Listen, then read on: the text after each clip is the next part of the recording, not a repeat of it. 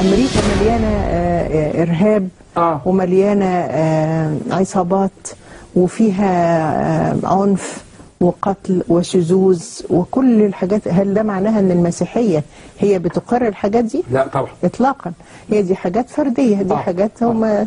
الناس هو هي اللي يعني حتى سيدي هل توافق على هذه الصورة التي تقول بها السيدة الوالدة؟ لا